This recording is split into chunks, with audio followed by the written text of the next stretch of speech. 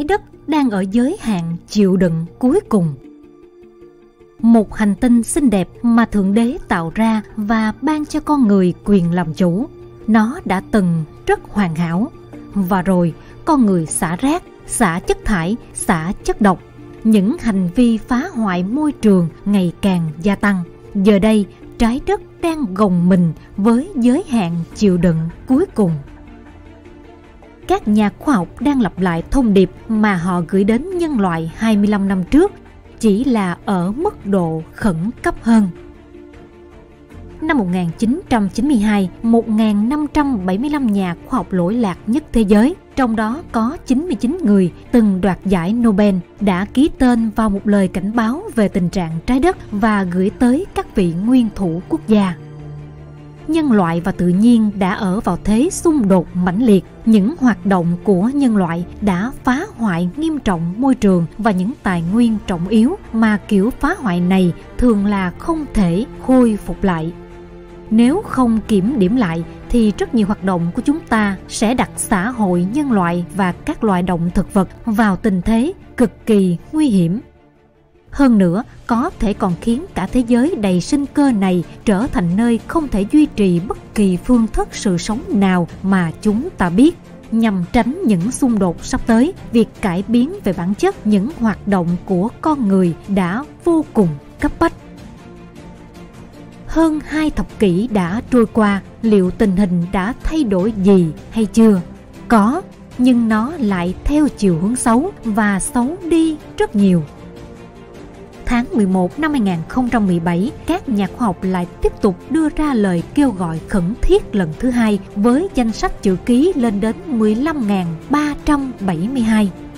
Đây có thể được coi là bài viết khoa học chính thống có được sự hậu thuẫn lớn nhất từ giới khoa học. Bài viết được đặt tên với tựa đề rất nghiêm túc, lời cảnh báo của các nhà khoa học thế giới đối với nhân loại, cảnh báo lần hai các tác giả đã viết rằng 25 năm sau lời kêu gọi thứ nhất, chúng tôi nhìn lại và đánh giá phản ứng của con người với những dữ liệu có được. Từ năm 1992, ngoài việc làm ổn định tầng ozone bình lưu, nhân loại đã không làm đủ những gì cần thiết để giải quyết các vấn đề môi trường cơ bản đã được báo trước. Đáng báo động là hầu hết những vấn đề ấy đang trở nên nghiêm trọng hơn rất nhiều Đặc biệt rắc rối là xu hướng biến đổi khí hậu do con người gây ra và khí thải nhà kính ngày càng tăng do việc đốt nhiên liệu hóa thạch phá rừng và sản xuất nông nghiệp, nhất là việc chăn nuôi các động vật nhai lại để lấy thịt. Hơn nữa chúng ta còn gây ra sự tuyệt chủng hàng loạt. Trong 540 triệu năm qua, đây là lần thứ sáu các sinh vật sống có thể bị hủy diệt hoặc ít nhất sẽ bị tuyệt chủng vào cuối thế kỷ này. Nói tóm lại, trái đất đang chết và nhân loại cũng sẽ chịu chung số phận đó. Chúng ta có thể làm gì? Con người đã rất cố gắng dùng khoa học và pháp luật để bảo vệ môi trường vật chất và kiềm chế hành vi của những người khác. Nhưng kết quả mấy chục năm bảo vệ môi trường đã cho thấy rõ cách làm này hoàn toàn vô dụng. Hãy thử ngẫm xem nền văn minh của nhân loại đã xuất hiện và tồn tại trong yên ổn được hàng ngàn năm. Vậy vì sao mà chỉ trong khoảng 100 năm qua, các vấn đề môi trường lần lượt xuất hiện và đe dọa tới chính sự tồn vong của loài người? Chúng ta đã rẽ lối sai ở đâu mà đi tới kết cục như ngày hôm nay? Nên khoa học hiện đại đang chống lại tự nhiên. Ngày nay, khoa học hiện đại đã thẩm thấu vào hầu như mọi lĩnh vực có liên quan tới cuộc sống con người. Tuy nhiên, sự phát triển của khoa học cho con người đóng vai trò chủ đạo lại có những thiếu sót rất lớn, có thể kể ra vài ví dụ. James Watt phát minh ra động cơ hơi nước, từ đó mang lại cho cách mạng công nghiệp một thời đại mới, sử dụng nguồn nhiên liệu hóa dầu với quy mô lớn ai cũng không thể nghĩ được rằng nhân loại 200 năm sau sẽ vì vậy mà rơi vào khó khăn do hiệu ứng nhà kính. Các sản phẩm nhựa mang đến sự tiện lợi cho con người trong rất nhiều lĩnh vực, nhất là làm bao bì, đồ gia dụng. Tuy nhiên, rác thải nhựa ra môi trường gây ô nhiễm. Đặc biệt, vi nhựa, hạt nhựa với kích thước nhỏ lẫn vào muối, nước và không khí gây hại cho chính con người. Thuốc diệt cỏ được nông dân xem như món quà vì nó giúp loại bỏ cỏ dại nhanh chóng. Nhưng các động vật sống dưới đất và côn trùng vô tội lại bị độc tố trong thuốc diệt cỏ tiêu diệt. Ngoài ra, thuốc diệt cỏ gây ô nhiễm cho đất và nước, rồi cuối cùng lại gây ô nhiễm cho thực phẩm. Chưa kể việc cỏ ngày càng kháng thuốc, cần phải tạo nên thuốc có liều lượng và độc tố lớn hơn. Khi Einstein phát hiện ra phương trình chuyển hóa giữa năng lượng và khối lượng E bằng mc bình phương, ông không thể ngờ vài chục năm sau, vũ khí hạt nhân lại trở thành thanh gương treo lơ lửng trên đầu nhân loại. Einstein cũng cảnh báo chúng ta sẽ phải đối mặt với nhiều thảm họa sắp tới. Tôi luôn lên án việc sử dụng bom nguyên tử vào Nhật Bản nhưng lại không thể làm gì để ngăn chặn quyết định định mệnh đó. Ông nói, tôi đã không tìm ra lối thoát nào khác. Vì sao khoa học luôn có sơ hở? Rất nhiều người hiện nay đã coi khoa học hiện đại như chân lý một cách không tự biết. Nhưng thật ra, từ khoa học, science, bắt nguồn từ chữ Latin, nghĩa nguyên gốc là học vấn cho nên khoa học không phải là chân lý, mà chỉ là sự học hỏi tiếp thu điểm mấu chốt là cơ sở triết học của khoa học thực chứng phương Tây đã phân chia thế giới hoàn chỉnh thành hai phạm trù độc lập, vật chất và tinh thần. Do đó, quan niệm về tự nhiên được thiết lập đã phân tách con người và tự nhiên, con người và thế giới, tâm và vật. Tuy nhiên, chính khoa học hiện nay lại chật vật trước những bằng chứng mới cho vấn đề vật chất và tinh thần là một thể thống nhất khoa học trên cơ sở phân chia hai phòng trù tinh thần và vật chất cho rằng hoạt động tinh thần nằm ngoài tầm mắt của khoa học thực chứng hiện đại. Đạo đức chỉ là thuyết giáo thuần túy, không có cơ sở vật chất. Con người và tự nhiên cũng không còn là một thể hoàn chỉnh. Một trong những hậu quả của nó chính là sự đối lập giữa con người và tự nhiên nhưng khoa học cũng chỉ là công cụ, dùng bao nhiêu thuốc trừ sâu, chặt bao nhiêu cây, rốt cuộc vẫn là quyết định của con người. Người ta thường chỉ thấy môi trường bị hủy hoại và khoa học là thủ phạm, mà không thấy rằng tinh thần của con người cũng đã bị ô nhiễm nghiêm trọng ở tất cả các lĩnh vực như tín ngưỡng, tư tưởng, quan niệm, dục vọng. Một câu hỏi lớn đặt ra, khoa học có phải là nguyên nhân tạo nên thảm họa Nhà hoạt động từ thiện Ba Lan nổi tiếng, bà Sanina Ochoka từng nói một cách thẳng thắn về sự vô lý trong kinh tế học. Người ta sống và tin rằng có một cái tivi cũ là bi kịch, nhưng khi có tivi màn hình phẳng thì tôi lại phải có cái phẳng hơn nữa. Ngay sau đó lại là một cái to hơn nữa. Anh có nhà thì phải có thêm cái nho nhỏ ở quê. Còn nếu anh giàu hơn thì ở Tuscany hay Provence, tuần tự như thế. Tôi đọc báo thấy có cặp vợ chồng ly dị và cãi nhau vì bảy cái nhà. Và tôi bắt đầu tưởng tượng nếu mình có bảy cái nhà, tôi sẽ phải có cả máy bay để bay qua, bay lại. Trong mỗi căn nhà, tôi sẽ phải có cùng từng ấy thứ quần áo. Tôi không thể muốn mặc quần đen mà nó lại đang nằm ở thành phố khác biết bao nhiêu đồ đạc và tôi có thể sử dụng hết được không để biện minh cho sự tồn tại của chúng. Bà còn chia sẻ thêm rằng mỗi ngày có 26.000 người chết đói, nhưng đồng thời thực phẩm lại được sản xuất mỗi ngày một nhiều hơn, chỉ để những người giàu có thể vứt đi nhiều hơn và nhiều hơn nữa. Những người giàu nghĩa là có cả chúng ta. Quả đúng là vậy. Theo Tổ chức Lương thực và Nông nghiệp của Liên Hiệp Quốc, loài người đang lãng phí khoảng 1 phần 3 lượng thức ăn có được mỗi năm. Nhà văn nổi tiếng Mạc Ngôn, người từng đạt giải Nobel văn học cũng từng có bài viết cảnh tỉnh nhân loại. Với dục vọng bị kích thích của con người, sự phát triển của khoa học kỹ thuật đã đi chệch khỏi quỹ đạo thông thường là để phục vụ nhu cầu sức khỏe của con người – thay vào đó là điên cuồng phát triển dưới sự dẫn động của lợi nhuận để đáp ứng. Kỳ thực là nhu cầu bệnh hoạn của một số ít người giàu có. Sau khi tinh thần bị ô nhiễm, con người sẽ biến thành ngu muội, ích kỷ, cuồng vọng.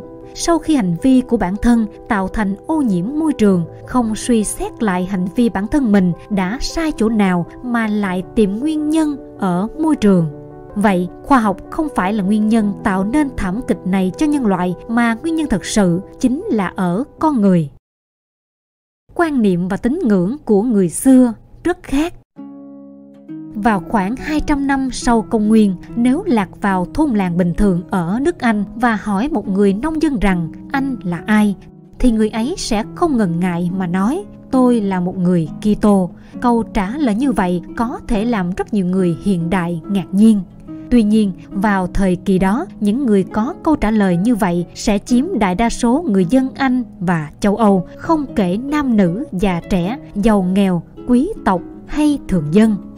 Ở thời đại đó, từ trong tín ngưỡng, con người nhận thức được mối quan hệ của bản thân với thần linh, vũ trụ, gia đình và xã hội. Tín ngưỡng chiếm một phần lớn sinh hoạt và trở thành một chuẩn tắc trong mọi tư tưởng và hành vi của con người trong cuộc sống khi đó, phần quan trọng nhất chính là mối liên hệ giữa người với thần linh. Vì giao thông cũng không phát triển, đa số người dân sống trong các thôn làng nhỏ, họ đều cho rằng ở dưới gầm trời đều là đất của thần, tất cả mọi người đều tin vào thần.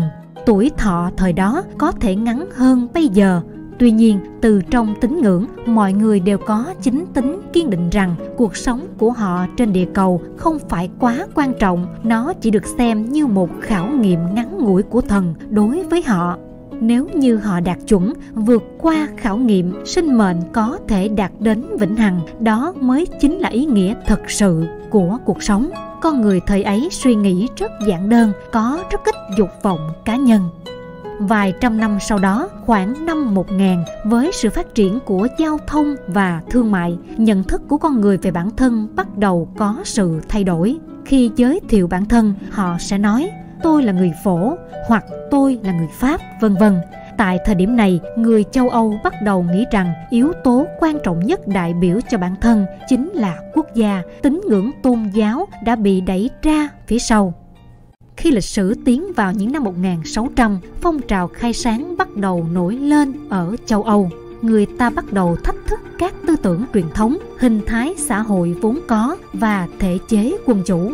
Người ta bắt đầu dũng cảm thực hiện, theo đuổi cái tôi cá nhân, tin tưởng rằng thông qua năng lực và lý tính của bản thân có thể thay đổi được vận mệnh và thế giới từ lúc này nhận thức của mọi người về bản thân cũng dần dần bị hạn cuộc trong cái ngã của riêng mình và dần đánh mất quan hệ của bản thân với thế giới bên ngoài từ thế kỷ 17 đến 19, cuộc vận động khai sáng và cuộc cách mạng công nghiệp đã làm thay đổi hoàn toàn hình thái xã hội, kèm theo đó là làn sóng công nghiệp hóa, đô thị hóa đã làm cho ý thức tư tưởng của con người cũng âm thầm biến đổi theo.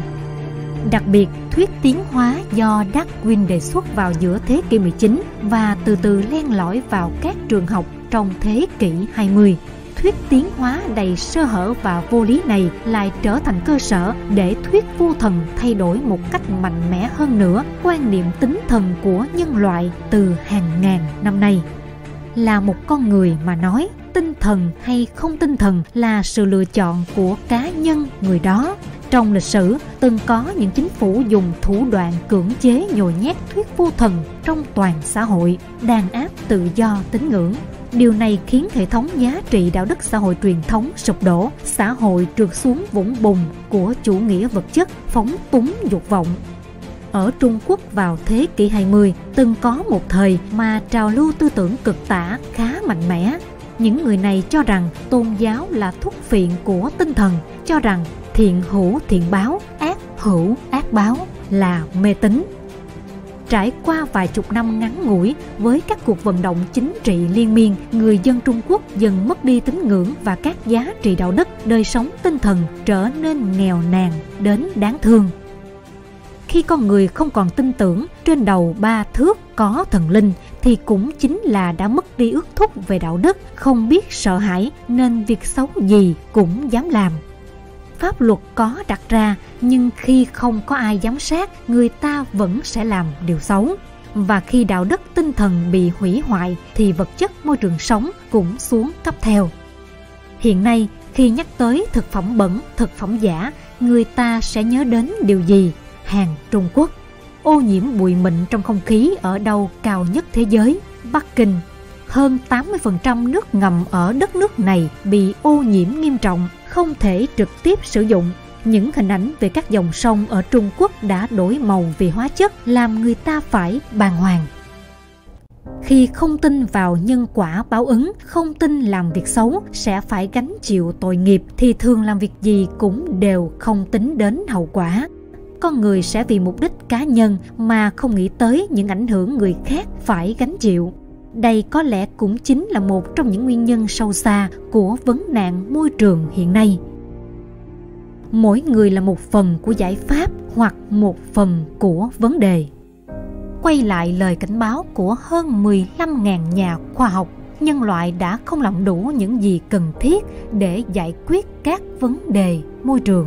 Mặc dù đã có không ít các ý tưởng dự án và phát minh để làm sạch nước, không khí và sử dụng năng lượng bền vững nhưng chẳng thấm thía so với tốc độ hủy hoại và tận diệt thiên nhiên hiện nay.